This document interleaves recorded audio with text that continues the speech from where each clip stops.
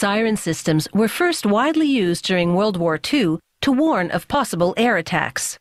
Early on, that wailing effect was generated by forcing air against a perforated disc. Today's siren sounds emanate from higher tech systems and still mean trouble is on its way.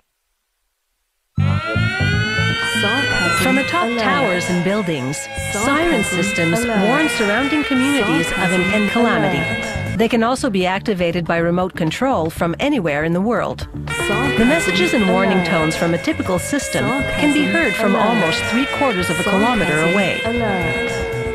Emergency vehicles are equipped with smaller versions of these systems to warn motorists of their speedy approach. The concept is basically the same to get your instant attention. Sarcasm alert.